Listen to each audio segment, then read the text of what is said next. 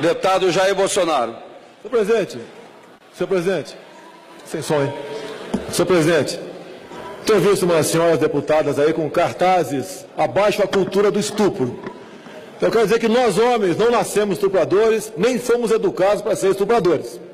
Estas mesmas que vêm com cartazinhos aqui, são as que não deixam o meu projeto, que agrava a pena para estupro, bem como outro projeto, que só permite que aquele condenado por estupro consiga progressão da pena após ser submetido voluntariamente à cassação química, vá avante.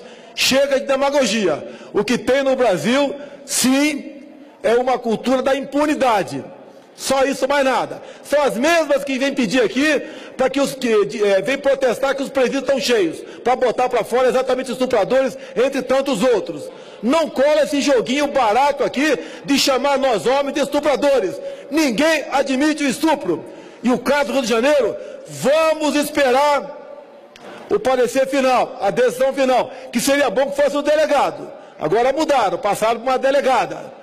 Mas a perícia, no primeiro momento, já disse que não houve ato de violência contra aquela menina. Vamos assim dizer. Abominamos o estupro, mas também abominamos a demagogia barata.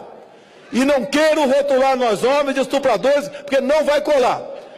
Senhor presidente, para encerrar aqui, até cumprimentar a Vossa Excelência, autor do projeto Escola Sem Partido. Estamos debatendo na Comissão de Educação aqui. Agora, enquanto debatemos, os livros do MEC, são vários que eu tenho, já impõem essa, essa ideologia de esquerda nas escolas. Entubam as crianças. Prego aqui que o socialismo é uma maravilha. E mais agora, perderam a noção do ridículo. Espero que o ministro Mendonça Filho coloque a bom termo isso daqui. Diz aqui, num dos itens, bem-vindas, bem-vindas e vamos combater o estupro com lei, com leis e combater também a corrupção com leis. Estupro e corrupção com leis, agravando a pena para estupro.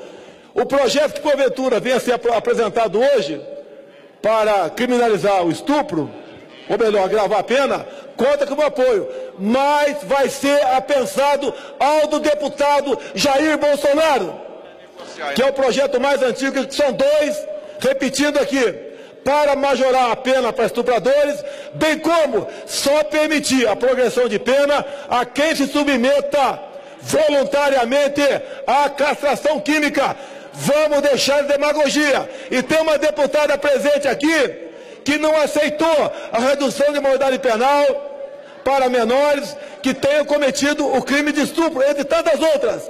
Então, quase as mesmas deputadas que vêm aqui dizer que o estupro é inadmissível, eu acho que é, não tem a menor dúvida tocante isso aí, são aquelas que votaram contra a redução da maioridade penal para estupradores de menores de 16 a 17 anos. E dizer mais, isso vem do caso Champinha, onde uma deputada defendeu aqui no Salão Verde a inimputabilidade do menor conhecido como Champinha, que em 2003 ele mais quatro marginais estupraram por cinco dias a menor Liana Fredenbeck e essa deputada veio no Salão Verde discutir comigo, dizendo que o Champinha não sabia o que estava fazendo ao estuprar por, por cinco dias consecutivos uma menor chamada Liana Fredenbach e depois tê-la executada com uma faca cega, ou seja, decapitando a menor.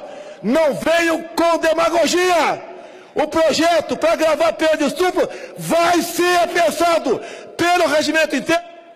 Deputado Jair Bolsonaro, hipótese não, não veio fazer demagogia aqui com uma coisa que é gravíssima, que é a questão do estupro das mulheres no nosso país, que são mais de 50 mil por ano.